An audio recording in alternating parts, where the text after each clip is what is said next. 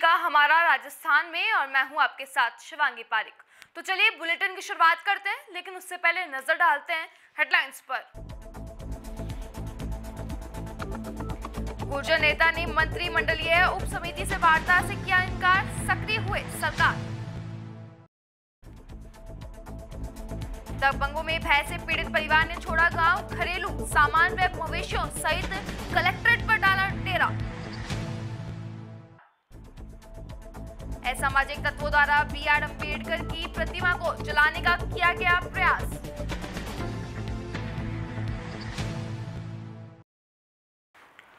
और अब खबरें विस्तार से। पाँच फ़ीसदी एमबीसी आरक्षण सहित अन्य मांगों को लेकर गुर्जर नेता एक नवंबर को आंदोलन पर अड़ गए हैं।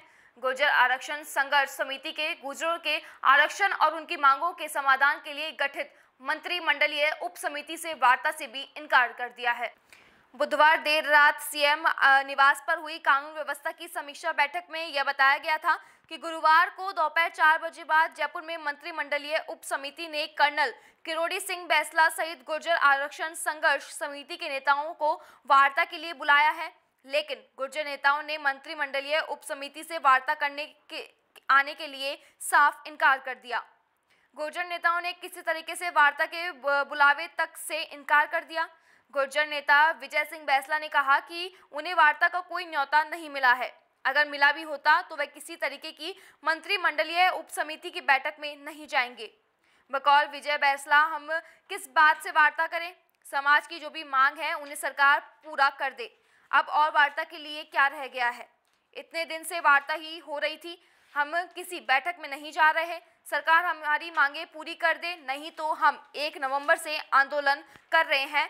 ये हमारा साफ़ रुख है।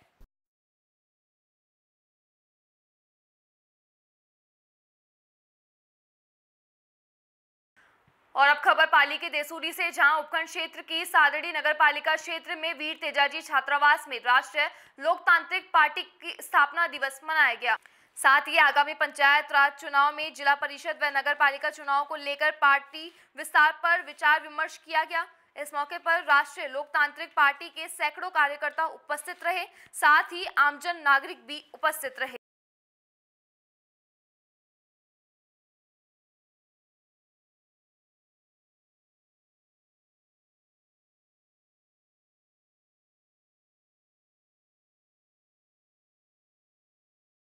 वहीं पाली के देसूरी के निकटवर्ती ग्राम पंचायत गुड़ा जाटान के राजस्व गाँव सुथारों का गुड़ा में सरकारी गौचर भूमि अतिक्रमण द्वारा अतिक्रमण करने के मामले में अतिक्रमियों को बार बार ग्राम पंचायत द्वारा अतिक्रमण हटाने का नोटिस भी दिया गया, लेकिन अतिक्रमी द्वारा ग्राम पंचायत के नोटिस को दरकिनार करते हुए आक्रमण जारी रखा। इसको लेकर गुरुवार सुबह ग्रामीणों व ग्राम पंचायत के सहयोग से सरपंच घीसूलाल मेघवाल व वार्ड पंच की मौजूदगी में जेसीबी मशीन लगवा कर अतिक्रमण हटवाया गया। अतिक्रमी द्वारा चारों तरफ़ धोरा दे रखा था। उसको भी जेसीबी मशीन द्वारा साथ में गौचर भूमि को अतिक्रमण से मुक्त करवाया गया। इस अवसर पर पूर्व सरपंच विक्रम सिंह इंदा व सैकड़ों की संख्या में ग्रामीण मौजूद रहे।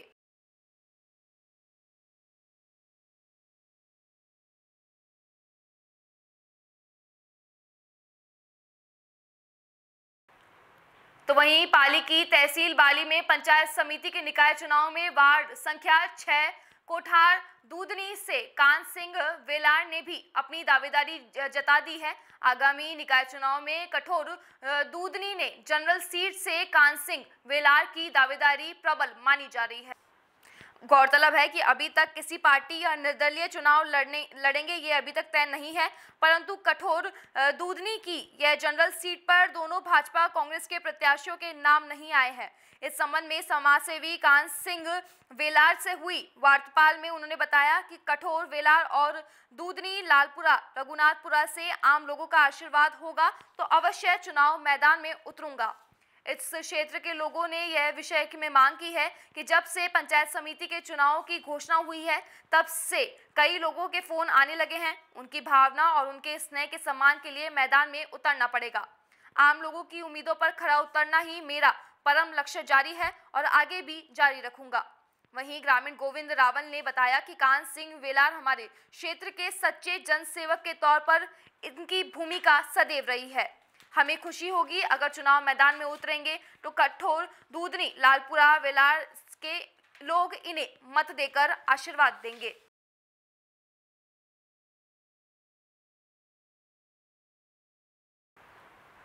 और अब खबर करौली ज़िले से, जहाँ पे तुलसीपुरा में एक परिवार ने दबंगों के भय से गाँव छोड़कर गुरुवार को घरेलू सामान व मवेशियों सहित कलेक्टर पर डेरा डाला।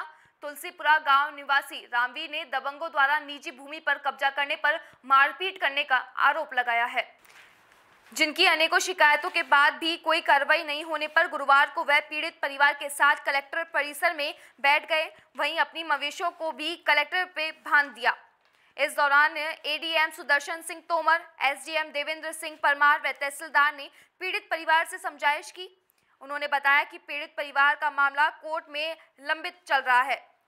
पीड़ित परिवार द्वारा न्याय नहीं मिलने तक कलेक्ट्रेट से नहीं हटने की जिद के बाद में डीएसपी मनराज कोतवाली, थाना अधिकारी दिनेश मीणा व सदर पुलिस कलेक्ट्रेट पहुँची, जहाँ से पीड़ित परिवार को समझाइश के लिए कोतवाली थाने में लाया गया व मवेशियों को कलेक्ट्रेट से गौशाला भेजा गया।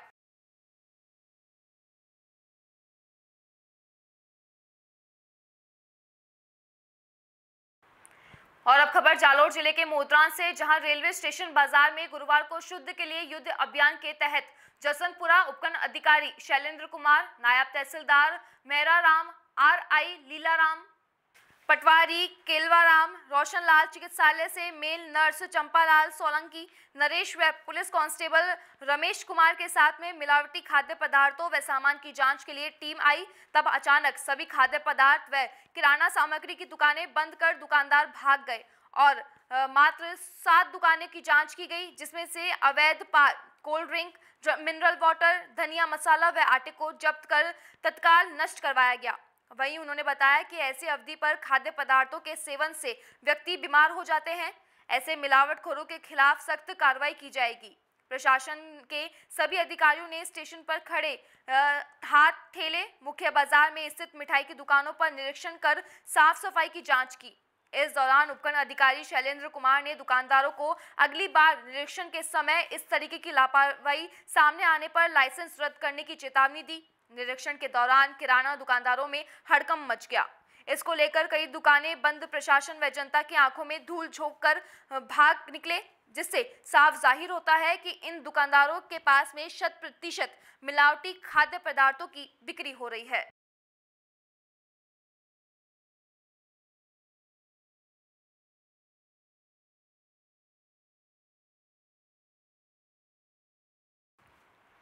और अब खबर श्री गंगानगर के सूरतगढ़ से, जहाँ थर्मल के निकटवर्ती ग्राम पंचायत रायावली के राजीव गांधी सेवा केंद्र पर राजस्थान पुलिस प्रशासन द्वारा जारी महिला अत्याचार व लैगिंग शोषण के खिलाफ आवास कार्यक्रम का आयोजन हुआ।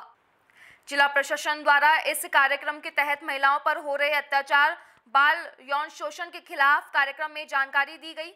आवास कार्यक्रम के दौरान उपस्थित सभी महिलाओं को राजस्तर थाना सहायक उप निरीक्षक सज्जन सिंह ने महिलाओं के प्रति बढ़ रहे अत्याचारों व महिला अधिकारी के प्रति जागरूक किया गया। कार्यक्रम योजन से पहले कोरोना वायरस संक्रमण के बचाव हेतु निशुल्क मास्क का वितरण भी किया गया।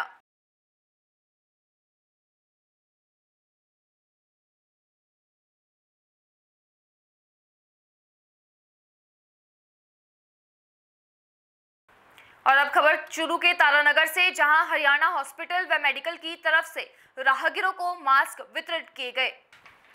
जिन्होंने मास्क लगा रखे थे, उन्हें गुलाब का फूल दिया गया। जिन्होंने मास्क नहीं लगा रखे थे, उन्हें मास्क लगाने के लिए प्रेरित किया गया। तथा अपने हाथ से मास्क लगाने, कोरोना जैसी महामारी को, के दुष्प्रभाव के बारे में लोगों को बताया।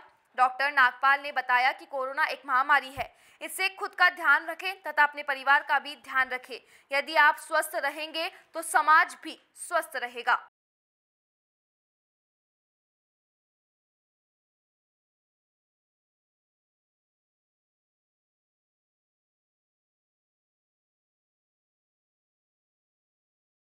जन्मदिन के उपलक्ष्य पे जिन जिन लोगों ने मास्क डाल रखा था उनको तो फूल वितरण किए और जिन जिन लोगों ने मास्क नहीं डाल रखा था, उनको मास्क वितरण किए और कोरोना जैसी महामारी के बारे में बताया कि ये कितनी बड़ी महामारी है, इससे बचाव करें और स्वयं मास्क लगा कर चलें और खुद का भी ध्यान रखें, खुद के घर वालों का भी ध्यान रखें। आप स्वस्थ हो गए तो हम स्वस्थ होंगे तो संसार स्वस्थ होगा, आप आगे बढ़ोगे, हम आगे बढ़ेंगे। जय हिंद। और अब खबर बीकानेर के कोलायत से, जहाँ आज आमजन को शर्मसार करने वाली घटना सामने आई है। देर रात असामाजिक तत्वों द्वारा डॉक्टर बी आर अंबेडकर की प्रतिमा को जलाने का प्रयास किया गया। सूचना पर अल सुबह पुलिस व प्रशासन के आला अधिकारी मौके पर पहुँचे। वहीं दलित समाज व ग्रामीण इस घटना के विरोध में अंबेडकर सर्किल पर धरना लगाकर बैठ गए। Additional SP Sunil Kumar, SDM Pradeep Chahar ग्रामीण धरना स्थल पर पहुंचकर आक्रोशित ग्रामीणों से वार्ता की। वार्ता के दौरान आरोपियों की जल्द गिरफ्तारी व कस्बे में सीसीटीवी कैमरे दुरुस्त करने की मांग पर सहमति बनी। पुलिस ने अज्ञातों के खिलाफ मामला दर्ज कर जाँच शुरू कर दी है। पुलिस द्वारा आसपास के सीसीटीवी फुटेज भी खंगालने का प्रयास किया जा रहा है।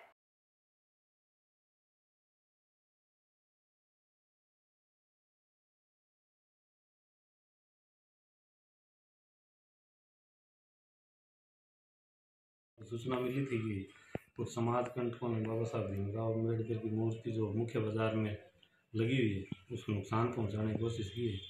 तो उसके बाद एस एच ओ साहब सी ओ साहब और वर्त का जो संपूर्ण जबता भी यहाँ इस संबंध में पहुँचा और मौके का मुआयना किया तो पाया कि किसी अज्ञात समाज कंटक व्यक्तियों ने मूर्ति के पास में कोई कपड़ा जला करके और ज्वलनशील पदार्थ से उसको काला कर दिया इसके बाद मौके की नज़ाकत को देखते हुए साफ़ सफ़ाई सरपंच साहब की उपस्थिति में करवाई गई। अभी चूँकि लोगों की मांग थी कि मुकदमे के जो आरोपी है या मुलजिम है, उनको जल्दी से जल्दी गिरफ़्तार किया जाए तो इस संबंध में एक टीम, विशेष टीम गठित की गई है और शीघ्र ही मामले का निस्तारण किया जाएगा। जो लोग धरने पर बैठे थे, उनसे समझाइश की गई और वार्ता की गई। और अब खबर बारह के कवाई से, जहाँ कस्बे के अटरू रोड स्थित राजकीय उच्च माध्यमिक विद्यालय में गुरुवार को विद्यालय के समस्त स्टाफ ने विद्यालय में फैली गंदगी व घास को काटकर आग के हवाले किया। प्राप्त जानकारी के अनुसार वैश्विक महामारी, कोरोना संक्रमण के दौरान लॉकडाउन के चलते करीब आठ महीने से विद्यालय में छात्र छात्राओं का आना जाना बंद है। इस दौरान बारिश के मौसम के चलते विद्यालय परिसर में लंबे चौड़े भूभाग वाले परिसर में बड़े बड़े घास पनप गई थी। वहीं परिसर में स्थित बड़े पेड़ों के पत्तों से विद्यालय में भारी गंदगी व कचरा एकत्रित हो गया था। इन दिनों जल्द ही विद्यालय खोलने की मिल रही सूचनाओं को देखते हुए गुरुवार को विद्यालय के समस्त स्टाफ ने एकमत होकर श्रमदान करने का लक्ष्य बनाकर विद्यालय परिसर में हो रही घास को काटकर आग के हवाले किया। वहीं परिसर में फैल रही गंदगी को एकत्रित कर परिवार, परिसर से बाहर निकाला गया। अध्यापकों का कहना है कि जल्द ही विद्यालय खुलते हैं तो परिसर में बड़ी बड़ी घास हो रही थी। इनमें विषैल जीव जंतु होने की संभावना है। विद्यालय में बच्चों के प्रवेश होने पर उन्हें किसी तरीके की समस्या ना हो। इसको देखते हुए विद्यालय की साफ़ सफ़ाई की गई है।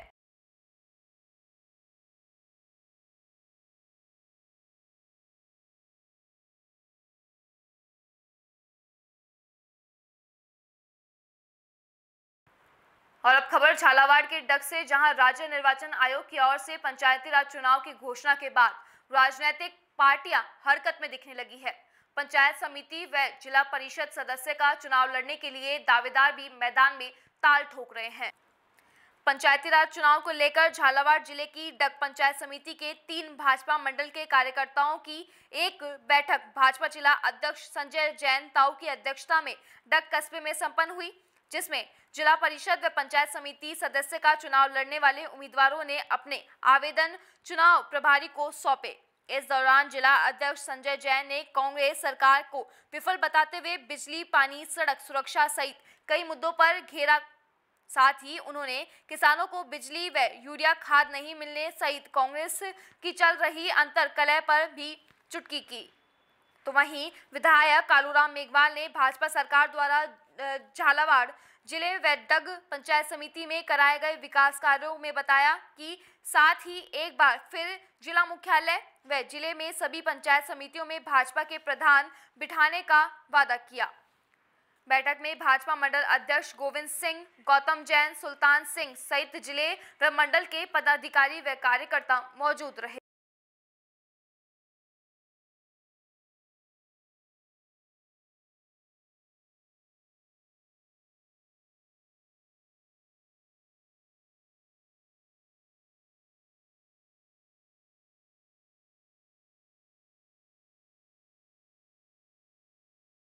अभी उद्बोधन में आपने बताया झालावाड़ ज़िले की आठों सीटों पर प्रधान और जिला परिषद का जो है आपका परचम लहराने वाला है। क्या ऐसा संभव है? किस आधार पर आप ऐसा बोल सकते हैं? निश्चित रूप से भारतीय जनता पार्टी, कार्यकर्ता बेस पार्टी और कार्यकर्ताओं के दम पर हम आठों पंचायत समिति और जिला परिषद जीतेंगे।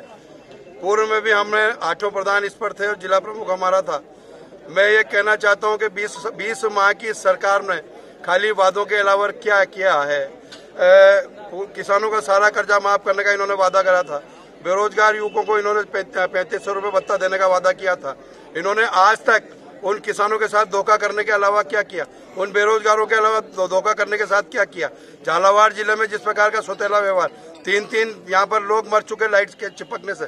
आज उनके लिए भारतीय जनता पार्टी लड़ती है। कहीं लाइट ही नहीं है आज किसानों की पानत करने का टाइम है। छह घंटे की लाइट देने की बात करते हैं। दो घंटे कटौती सहित देते हैं, दो घंटे भी पूरी लाइट नहीं आती।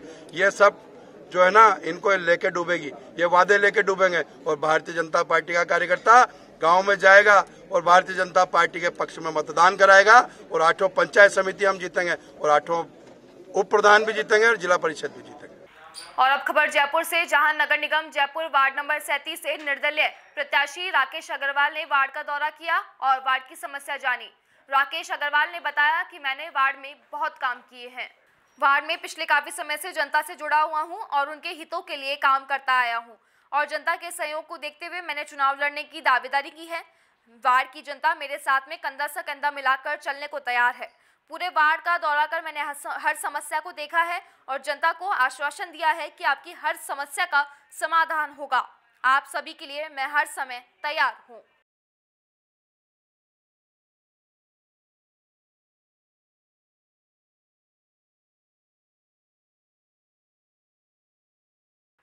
फ़िलहाल हमारा राजस्थान बुलेटिन में बस इतना ही। आप देखते रहिए डीपी के न्यूज़ नमस्कार।